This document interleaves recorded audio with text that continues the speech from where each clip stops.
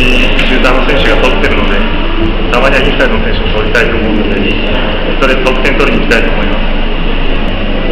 年に一度の祭典なので、えー選手みんなで盛り上げます、えー会場の皆さんと一緒に盛り上がって楽しい一日にしましょう、えーぜひオールスターにお越しください。よろしくお願いします。